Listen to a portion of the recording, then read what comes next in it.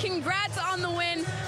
I don't know if you're aware, but you became number one in program history for all-time solo blocks, number four in career blocks. What's it like hearing that for you? That's pretty awesome, but I get a lot of block help from my pins, so it's thanks to them. Absolutely. You're always giving team credit. What worked so well for you guys tonight?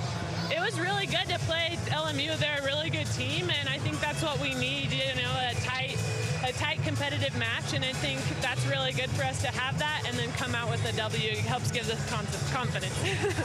and the Smith Fieldhouse was really in it with you guys. What was it like playing for the last time of the regular season here? It was so awesome, especially for a Saturday afternoon. Like, I honestly was like, oh, like usually like they're not packed like this and I leaned over to someone I was like wow it's packed and so I'm just like so grateful for everyone who always comes out so amazing all right, senior day for you after six years. What's it been like playing with each of these six seniors and for Heather and this coaching staff? Yeah, so awesome. I just think of all the girls I've been able to play with and all the memories. It's just such a magical thing, and I just can't thank the coaches enough for bringing me here, and it's been awesome.